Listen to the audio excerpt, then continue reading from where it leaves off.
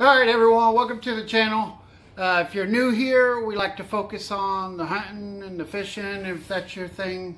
Uh, turn your volume up and uh, listen to my daughter real quick.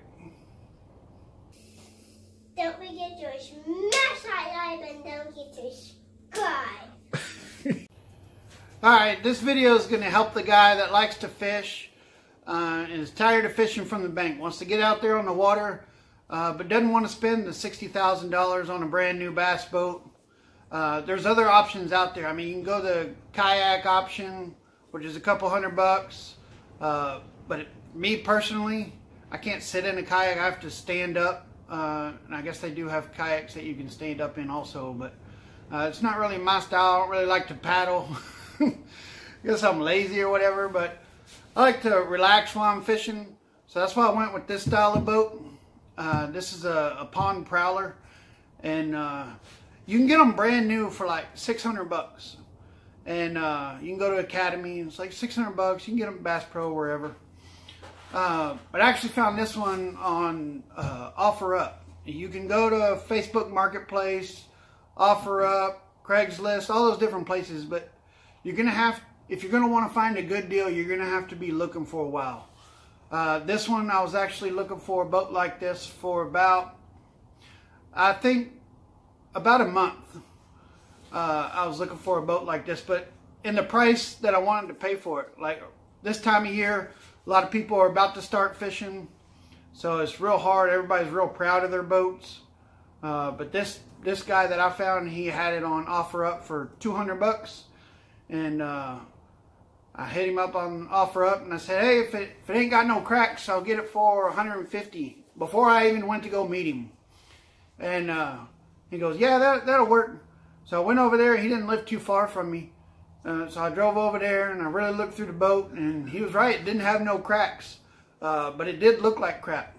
Uh, you'll see here in a video here shortly uh, that is real dirty. Uh, the paint's starting to chip in a lot of places. Uh, but structurally, the boat's real good. Uh, if you if you got some time, and you you can find you can find pretty good deals on the internet sometimes. Um, I, I, guess it beats paying six hundred dollars for a brand new one. Same size boat, does the same stuff. Uh, you can customize this one as much as you can customize the the brand new ones. Uh, but here's what the boat looks like uh, when I first got it. As you can see here, when I first brought the boat home, it's pretty dirty and some paint starting to chip, but I was thinking that ain't nothing, a little power washing and a few coats of paint can't fix.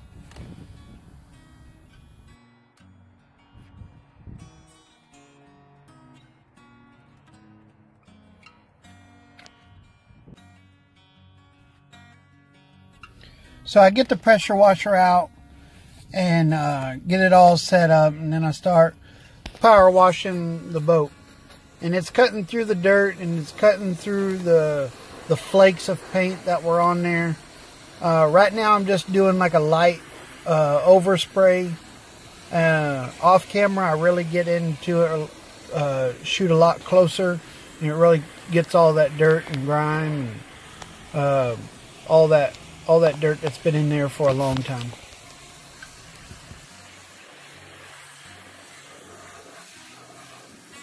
the whole power washing uh, took me about 20 minutes.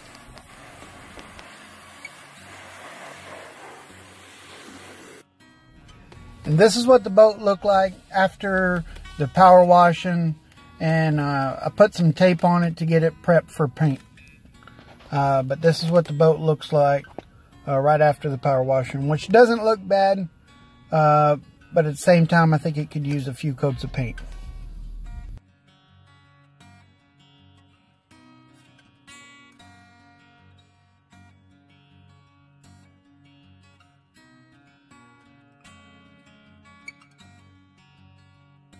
This is the paint I decided to use. I got it from Lowe's. It's called uh, Matte River Rock. And here's what the boat looks like after uh, three cans of spray paint of that Matte River Rock. Uh, I think it looks really good. I actually think it looks uh, 10 times better than what it used to look like. But at the same time, it's just a, it's just a boat for the pond, so it doesn't have to be perfect, which it's not. Uh, but it's good enough for me. And uh, once I finished that, I flipped the boat over and I got some of this uh, leak seal that I had. And I went on the underside of the boat and uh, I sprayed a bead uh, all the way around the boat where the two plastic pieces connect together uh, just to ensure there's no leaks. Like I said, I've never had this boat on the water yet, so I wanted to put this in there just to make sure it doesn't. And uh, this is the, the finished product. I'm real happy with how it turned out. If you remember, this is the before. Uh, real dirty. Uh, flakes in the paint. And with just a little bit of just a little bit of time, uh, turned into this. This is what it looks like after. So, uh, like I said, I'm, I'm I'm real happy with the way it turned out. All right, I hope I hope this video helps someone out. Um, the way the boat looks like now, I, I could probably get around $300 for it if I put it back on uh, online, but I'm actually going to keep this boat. Is going to be my pond boat. Um, I have another boat that I use for the lake, uh, but this is going to be my pond boat, and I'm going to customize it and uh, add a deck to it, and I got a couple other things I'm going to add to it.